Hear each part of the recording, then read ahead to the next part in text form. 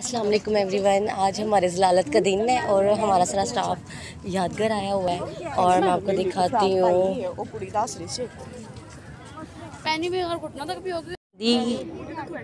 ना उतरने लगी है और बहुत अच्छी लग रही है ये देखिए जरा। में तुम्हारी बिस्ती कर और बाजी पापा मेरी इंसल्ट करेंगी। ये देखिए ज़रा।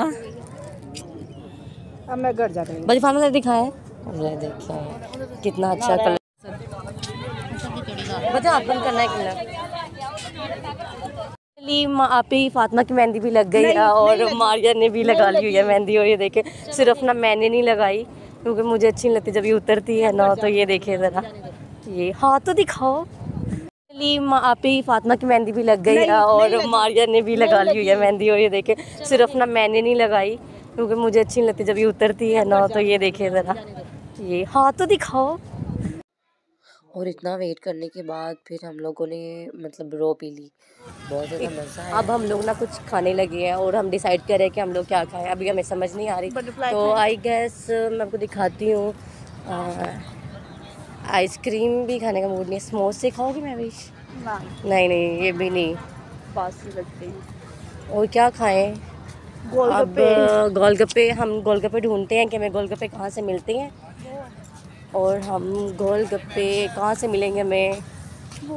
कहाँ लगे हुए हैं? वहाँ चलते हैं। तो फाइनली अब हम लोग इधर से गुजर रहे हैं और डिसाइड करने लगे और गोलगप्पे, ये रहे गोलगप्पे। और फाइनली हम कहाँ बैठेंगे? मैं भी डिसाइड करो। वो हम जहाँ वहाँ जाके बैठते हैं। अच्छे भले गोलगप्पे खाने का मैडम का मुँह था और खाने भी लगे थे और टेबल पे बैठ भी गए थे। अचानक से पता नहीं मैडम के मूड में क्या आया कि हम बाहर जाके खाएँगे।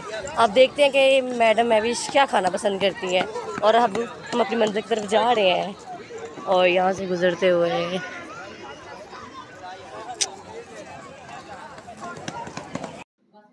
यहाँ से आने की परमिशन देते तो नहीं है, मगर फिर भी मैं बाहर आ गई।